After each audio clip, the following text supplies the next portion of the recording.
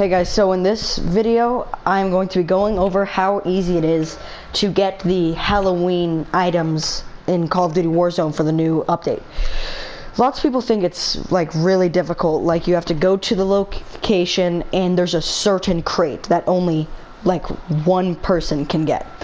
It's actually a lot, a lot easier than that. if this puts us in a game real quick, we'll be, okay, well it didn't.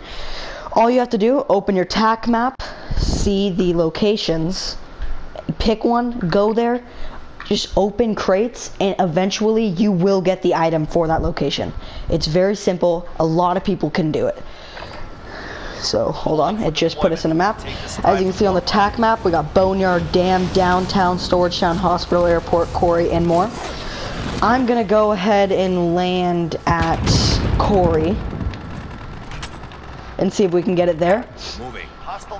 So I'll see you guys when I land there. We are at Quarry. We found two crates. We'll see if we can get him out of get it out of one of them.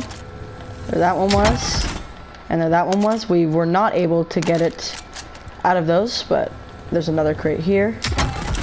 Not even that one. Sometimes you'll get lucky and just get it first try, but other times it'll take a couple tries. You see, we just got it there. Quarry loot found. You just loot random ones and you will eventually get it. It's as simple as that. It's not very hard.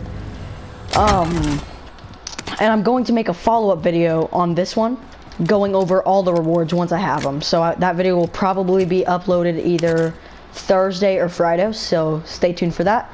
If this video helped you guys, like, subscribe, turn on notifications. It would really help. And I'll see you guys in the next video.